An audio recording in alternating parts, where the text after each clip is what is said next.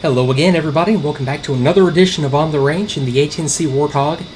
And today I'm going to close out this little mini-series I've been doing on the AGM-65 Maverick Guided Missile by looking at the Force Correlate tracking method and go over that mode that you can put the AGM-65 Seeker into and show you the capability that that gives you and show you a little bit about what that's intended to do for you.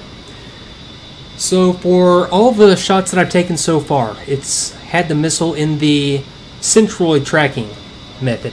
Centroid tracking being the method that you get right there where it picks out a target on the ground that is about the same shape and about the same size as a tank or a vehicle, and the tracking gates collapse over it, and it uses the contrast between uh, that and the surroundings to a track on the centroid position of the target. It just basically locks it up and then goes for the dead center position on it. That tracking method is only really uh, good for vehicle-sized targets, and once you get into larger targets, it doesn't really work as well because you, in a lot of cases, if the target is a little bit larger than the size, you're going to want possibly a specific point on that target to get hit and not just the center of it. So let me break lock and recenter my Maverick real quick and demonstrate what you get with the force correlate tracking method.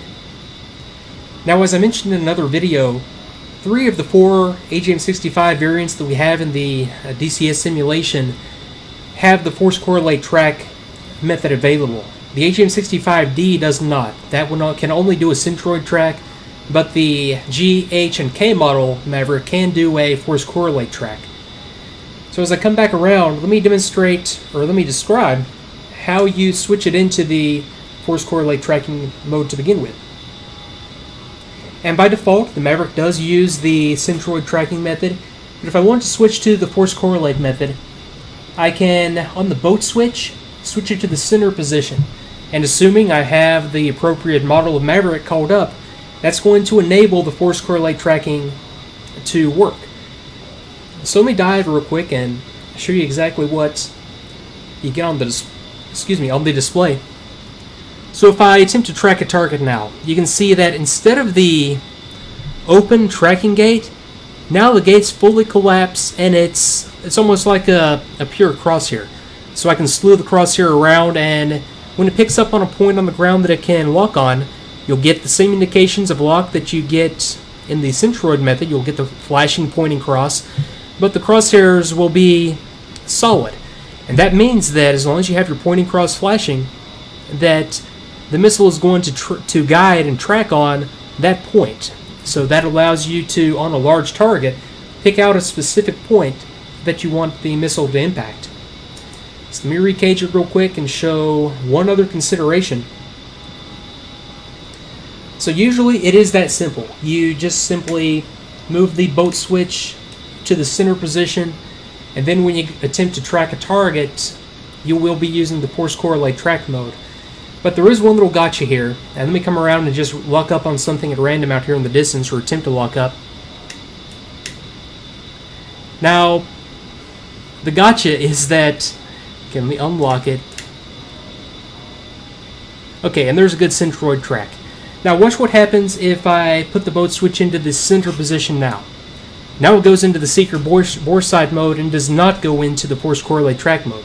So you can only switch to Force Correlate track when you do not have a target locked. So now let me go to the center position and once I stabilize I will be in the Force Correlate tracking mode.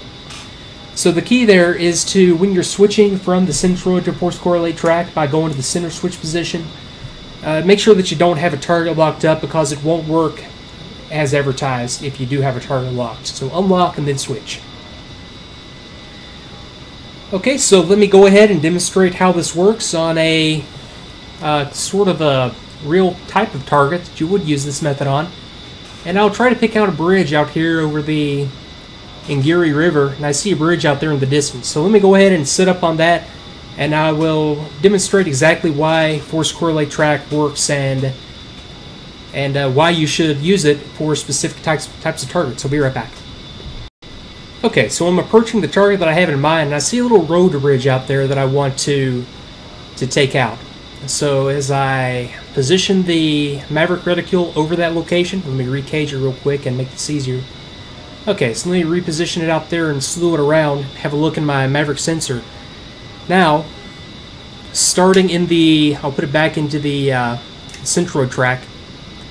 Now if I do happen to get a Centroid track on this bridge, here's what it'll look like. It'll be locked up, and see how it's just locked up this big, uh, basically just a blob. It just locks up on the bridge itself so that I can't really count on it hitting a specific point. What I really want to do is hit this little support column uh, on the bridge.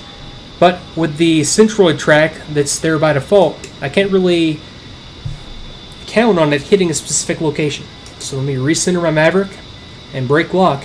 Now I'll put the boat switch back into the center position to put it into the force correlate tracking method and I will come back around on this target. So again, I will be right back. And now turning back into the target area with the Maverick Seeker in the force correlate tracking mode. I'm going to steer the reticule out there to the target, slew it over, and stabilize, and try to pick out a specific point on this bridge that I want to have the Maverick impact. So let me slew up to this support column and see if I can get it to slew over there. Okay, so that's a good track. Okay, let me fire the missile. And now you'll see that it is going to track on that specific column that I had locked up. So let's see how this does. Okay, good impact, but uh, looked like it hit the water first, so uh, not exactly the result that I was looking for, but you can see that that hit right at the exact spot that I was aiming. And that's what the benefit is of the Force Correlate track.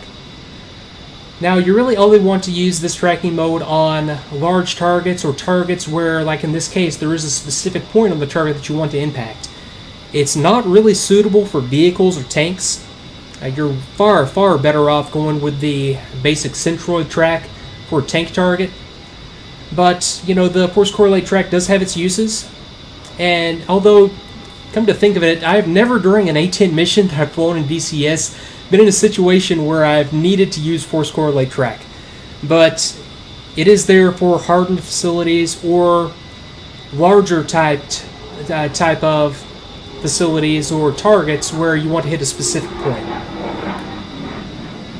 So hopefully that clears things up for you when it comes to the two different tracking methods that Mavericks can be employed in.